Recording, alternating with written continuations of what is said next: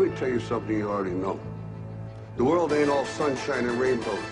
It's a very mean and nasty place, and I don't care how tough you are, it will beat you to your knees and keep you there permanently if you let it. You, me, or nobody is gonna hit as hard as life. But it ain't about how hard you hit. It's about how hard you can get hit and keep moving forward. How much you can take and keep moving forward. That's how winning is done. Oh yeah! Y'all know what time it is. Well, here he is, your defending Arnold Classic champion, Branch Warren, and uh, you just cannot say enough about the warrior that is Branch Warren. He comes back from a major surgery to his right to his right quadricep. A lot of us felt that his best days were behind him. He comes back this afternoon at prejudging, looks exceptional, and I don't think any of us could have predicted that Branch Warren would have turned out to be as great today as he is, and he has got himself in prime position to win his second Arnold Classic. This is the story of the year, and a year that's just starting, and I'm not so sure it can be eclipsed, but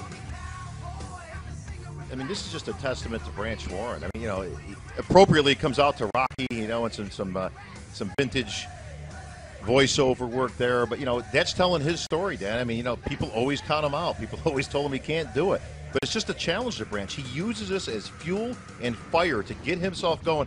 And look what he's doing right here. He, he doesn't slow down. He takes the right leg that he injured, shakes it around, and hits it just like he normally does, Dan.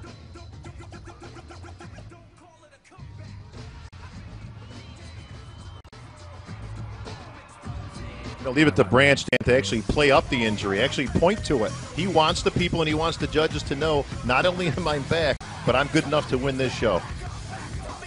He's put himself in position. He's got a there is a I am told there is a beautiful little newborn baby back home in Texas uh, who has uh, might be cuddling in her crib with a first place Arnold Classic trophy in just a couple days. I want to go ahead and uh, give a shout out to Branch's wife, Trish, who of course stayed back home with their beautiful newborn baby to um, watch this production uh, by way of webcast. But, uh, you know, Bob, when you think about the story of Branch Warren, it goes beyond just the quad injury. He had the tricep injury. He just keeps coming back, and every time he comes back, he's bigger and he's better, and he's put together a package that is worthy of the respect of every bodybuilder who has ever walked on stage. He is sensational. Well, you don't wish injury on anybody, Dan, but if there's one ray that came out of here, one thing that actually helped was that he actually take, had to take time off, and that's a luxury he doesn't normally get, as he's very much in demand on the circuit guest posing.